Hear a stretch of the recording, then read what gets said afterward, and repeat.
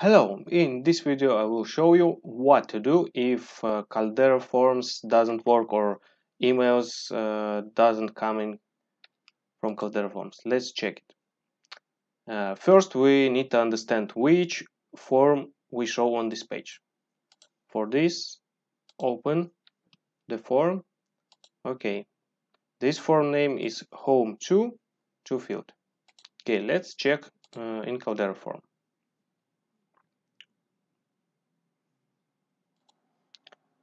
Okay, this is the list of different forms from this website.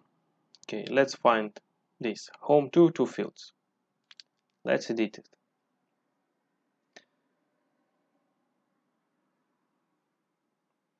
And go to email options. Okay, if we would like uh, to send emails, we should uh, show others like WordPress dot uh, your website URL and email recipient and it, this is where you want to send your emails. For example I will show my email. Okay let's save it and let's check it. Exit the editor mode. And let's send something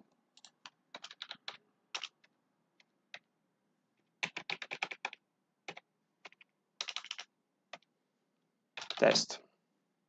Submit.